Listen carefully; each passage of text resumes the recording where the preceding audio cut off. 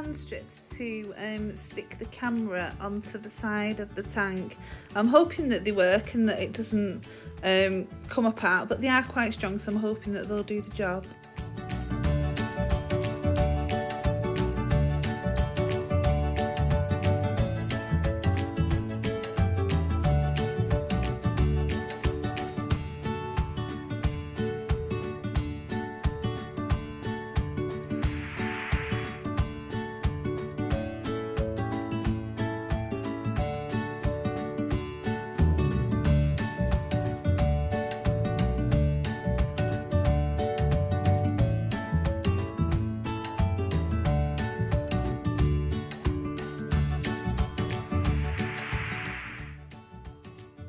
So these are the most easiest instructions ever to follow.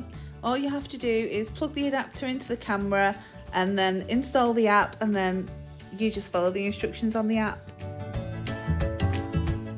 And this is upside down just to, just to add. Um, I did put it in the tank upside down um, but I just took it off quite easily because it hadn't um, fixed properly yet and this is the right way up.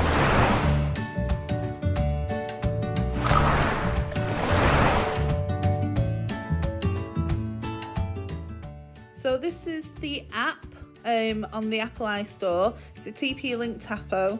Um, it's really, really easy. You just um, allow, press OK, um, and then you just follow the instructions. You have to make sure that you put your permissions on the Tapo app in settings um, for it to be able to access the permissions, accept the terms of use, um, sign up with your email, password, um, your login details, um, if you want to get the newsletter, then um, tick that. Um, this is just as it was um, just showing all the products available. This is the right way up in the tank and Hami's in the little tube there. I was just waiting for it to set up and connect to the Wi-Fi.